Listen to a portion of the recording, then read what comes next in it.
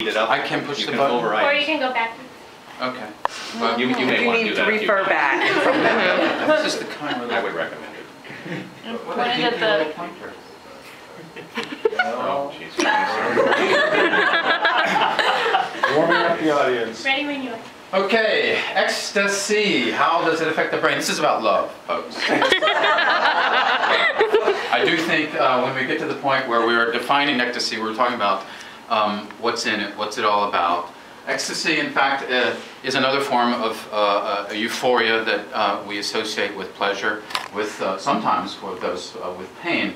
Um, apparently, uh, it is also a chemical uh, that is uh, very um, profitable in uh, modern pharmaceuticals.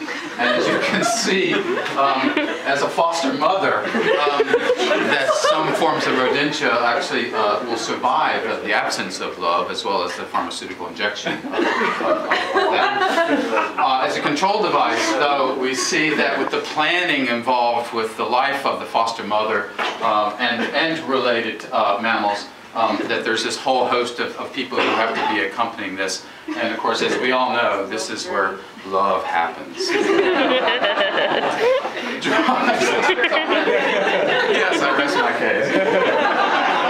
Um, this is actually um, this. Uh, this is funny that this is here because uh, I had this very intense discussion with Kip and Charles earlier today and yesterday about all the anatomical metaphors associated with the design of buildings. And little did they know, that, in fact, that this has to do with our affectionate, um, uh, our, our moment of emotional weakness. Wow, look at these. Sharks, sharks' teeth actually provide the impetus here uh, for, for the transformation and the, the exchange of, of love. Wow, this is, this is hovering. This is a science fiction movie that um, I, I really have missed. Um, so, part of this, of course, is developing empirical testing for the uh, sort of analysis, the quantification of, of what this really means uh, in terms of uh, love. And of course, as you can see, of course, whether it's straight line, or, uh, an ellipse, or a parabola, uh, love comes in, in many shapes, uh, many types of M&Ms. Uh, to contribute to the, the, again, the sort of overwhelming chemical release of uh, M and M's, yes. Um, these are not colors, of course, that you can get this time of year. You'll have to wait till the fall. um, mother, where have you been? this, this is where love actually originates, I think, uh, is the, the ability to, uh, to be able to talk about what actually stimulates us to, to generate uh, affections uh, for uh, things, for objects, for people, uh, and the like. Wow. you see, uh, again, the, this, this is just a, pharmaceutical uh, uh, euphemism for, for affection, for love. This is just a, this is how they make money, is calling it drugs. This is just about the transformation, the exchange of, of what we all uh, have uh, uh, learned and sometimes been denied uh, that learning, but uh, it is about uh, this transference. Um, again, you can see the sort of effects of this artificial component that's been overlaid. These, in fact, are the hairs on my head uh, related, to, uh, related to the, the extent of my involvement with love or the chemical substitute. Um, then there is the possibility that uh, and this is really interesting because I, uh, I've never experienced hyperthermia, um, or actually had the opportunity to say that I've lived through it. Um, but but uh, certainly the, there, uh, the, in the anatomical analogies of what this is all about, it really is about um, how your organs respond. Um, uh, whether or not, of course, uh, this is a good or um, not so good thing, uh, as Jorge might say.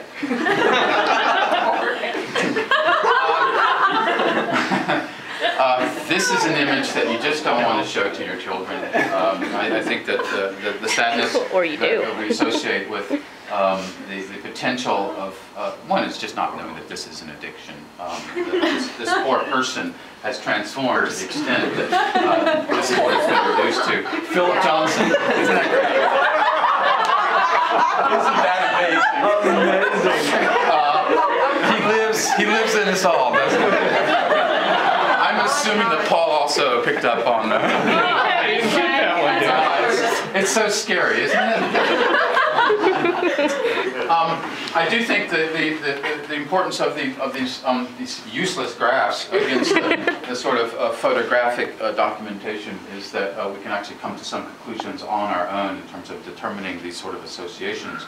Um, and that, that some of that, in some cases, has to do with the, the, the um, functioning analysis of the hypothalamus as it relates to um, the, the regurgitation of those drugs. And then, of course, the consequences of all that. Um, uh, this, this is about joy. This is about the sadness uh, associated the absence of, of joy.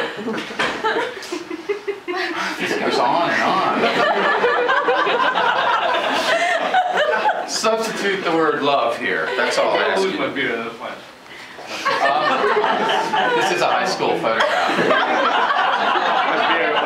Uh, Believe it or not, this was back in the band days and, uh, when we were on the road. It was a really fun time and lots of uh, free and purchasable love.